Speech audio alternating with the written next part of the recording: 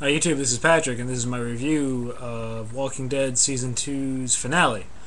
Um, really good episode. It was pretty much uh, summed up what's been going on with the last four episodes of this season, um, where I think a lot of people have been watching it, including me, have been feeling better about the show. Um, and more importantly, they're, more importantly, they're feeling, feeling better about the show moving forward. Um, and that's the point I'll be getting to toward the end of this. But uh, as far as the actual episode goes, this episode was very similar to one they did a couple of weeks ago. I think it was the second one back, um, where the first half of the episode was different than the second. The first half was very action oriented. The second half was very dialogue heavy. A couple of weeks ago, the episode they did, I was pissed off about it because um, the action heavy part at the beginning of the episode. This is one a couple of weeks ago. Uh, is when Rick and Hershel and um, and Glenn were in the bar. They had the shootout, and they had to pull Randall out of there. First half of that episode was fantastic. Not just because it was action; it was just well done. Second half was all dialogue, and it was boring, boring, um, and just not well well executed. Just not well done. This episode had the exact same structure, but I liked this one. Now the first half was was excellent. Just really like tension filled. Really felt like a season finale. Um, tons of action. I mean, it, it, was a pure season finale. When I looked down at the um, at the clock, I thought the episode was at like nine, um, like thirty. I thought it was gonna say it was like nine thirty-seven already or something because so much had happened. It must already be almost two thirds over, and it was like nine seventeen. We haven't even gotten halfway through yet. Um, I love it when you watch an episode of television and you look down and you see that. That that's always uh, that's always a good indicator that you know it's pretty good. The second half that was more dialogue driven. I liked it because it was basically a setup for season three, and the setup made me excited for season three. So that it did its job. Plus, it you know it gave us you know pretty good uh, places to leave our characters as far as cliffhangers go, and you know how they're dealing with one another. Um, there were still some problems, but you know. Um, all right, so the first half of the episode, they're all barn. You know, the the uh, the farm basically goes up. We see the helicopter, sort of. I don't know if if, it, if we're supposed to take that the helic- the zombies are following just the helicopter noise the entire way, or what. There's something going on with the helicopter because we've seen it twice now. Um, and it shows like this that doesn't just happen. So but that's probably for a later time. But still, um, the zombies, you know, head to the farm. We saw them break through. We saw up to the point where the episode then begins. Uh, after the teaser with Rick and Carl uh, walking away from Shane's death. Um, this whole section, it was just pure action. Everyone just leaving the farm. I thought for sure we were gonna we were gonna lose Hershel, or maybe Carol at the way things were going, or even Andrea. Um, we did lose a couple of minor characters, um, which were fine. They didn't do anything, and maybe you know you could look at them as two of the mistakes from this season, and at least they're two mistakes that won't be traveling with us next year.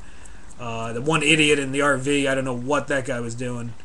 Um, uh, and the other woman, the other one actually kind of gave me like not a jump, but was really sad. It was something that supposed you're supposed to feel that way when someone dies on on the show, even like as a minor character.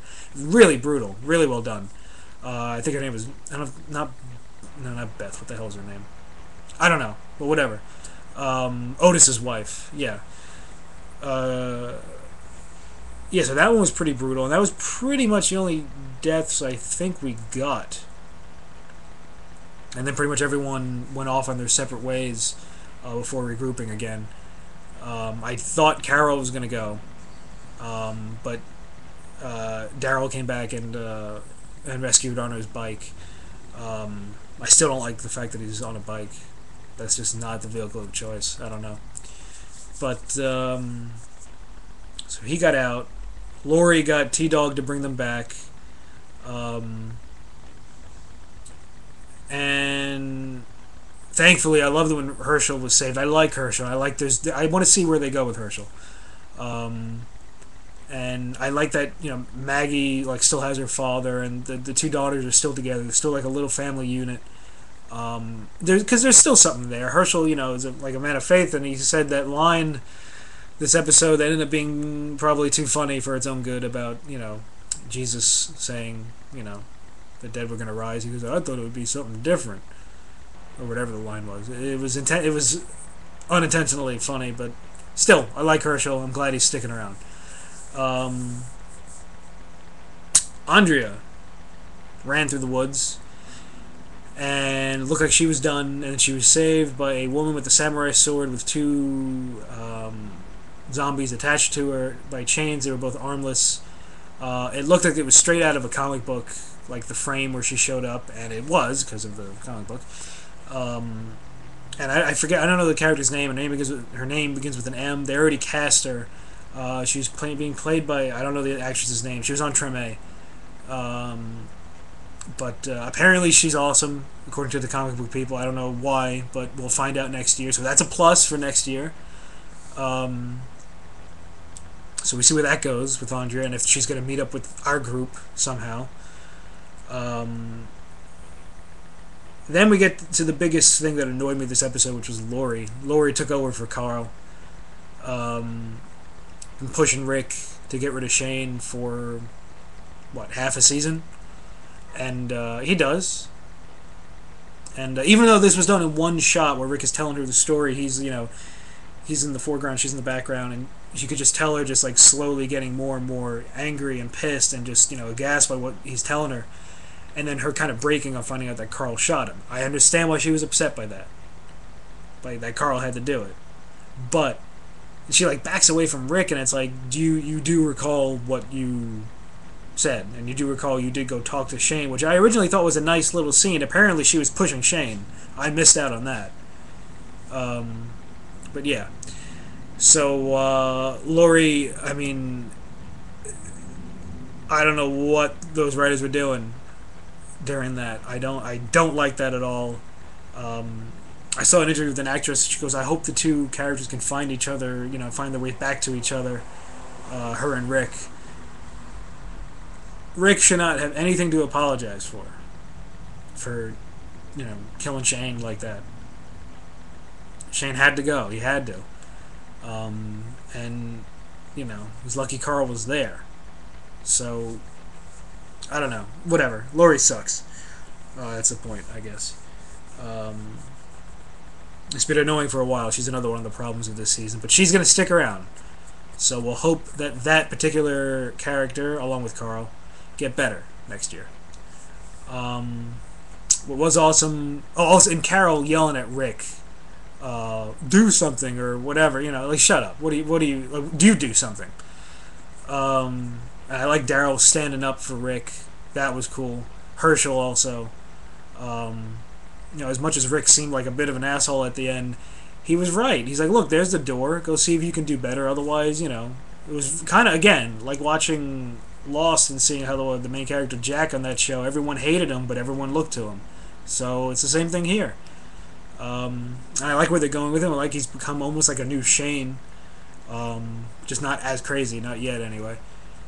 Um, him revealing to everyone that what Jenner told him in the last year's finale, that was cool. Um, and I like the excuse of him saying I didn't tell anyone because I thought he was nuts. Um, I guess that makes sense. I'll buy that. That's okay.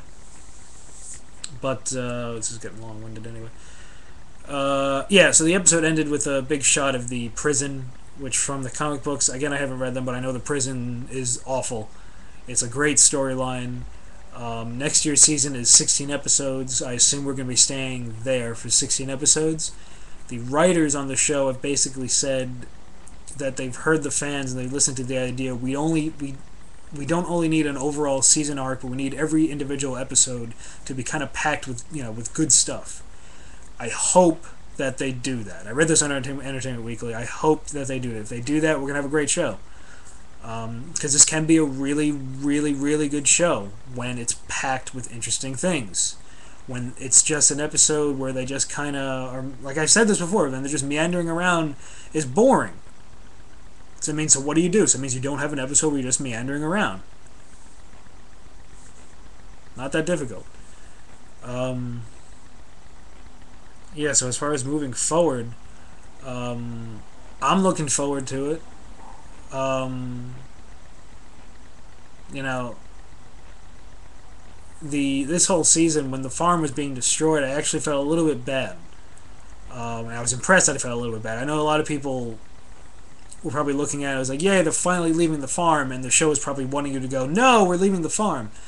Um, I was a little sad to just watch it burn more than anything, uh, but it was nicely filmed, I guess. But um, yeah, so this season was a bit of a mixed bag. I'm gonna put it down at a B minus uh, because of the last four episodes. I felt great about the first three episodes this year. Um, and then it just went into like a it was just spinning its wheels then the sophia storyline came to an ending which was well done and then it started spinning its wheels again and then we had these last four that were well done um, if i told you like how this season goes you know they're going to start where they have to get to this farm it's going to be a great you know action packed season premiere uh, Carl's going to get shot, so they have to go to the school to, to get supplies, but Shane's going to have to kill this guy, and Shane's going to go nuts.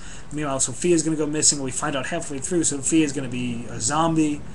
Uh, and then they find this guy Randall, and they don't know if he's part of the group, and they decide to execute and blah, blah, blah, blah. Dale, Shane dies, everything, all that. Sounds fantastic. Sounds like action-packed stuff. Um, just sounds well done when you say it like that. Maybe not the way I said it. I probably sounded like a mess, but you know what I mean. Instead, this season, a lot of people were pissed off, uh, including me. Um, but I will say the best thing about it is that it ended well, and it gives me hope for the future of this show. Um, and uh, yeah, so I'm looking forward to it. So I guess that wraps this up. Um,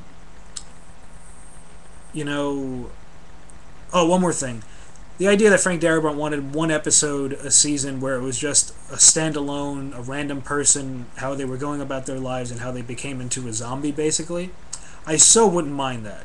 In fact, you could do that to to elongate an entire season. So instead of having a, a, shitty filler episode at a farm at the farm this year that we had, like one of the ones we did, how about an episode like that, where at least it's a, a good hour of television? Which isn't that the point? Uh, but instead, AMC wouldn't let him do that. So AMC, fuck you. Uh, Darabont is the reason that the first half of the show is slow. And when AMC said, "Hey, this first half is really slow. Why don't you pick up the pace?" He was like, "Oh, blah blah blah. I don't feel like it, or I'm gonna let me do it my way." So Darabont, fuck you. So instead of these two sides coming together and working it out, they both, you know, act like children, and we got, you know, we got shit on for most of the season. That's what it felt like. Um, the audience suffered. But it picked up toward the end, and next year we'll have a clear showrunner and a clear, hopefully, story from beginning to end. And yeah, that's it. I'm looking forward to it. All right, let me know what you thought. Um, I'm going to be working on uh, working. I'll be reviewing Game of Thrones when it comes back uh, in two weeks. So um, I'll put some other stuff on here. But until then, see you guys.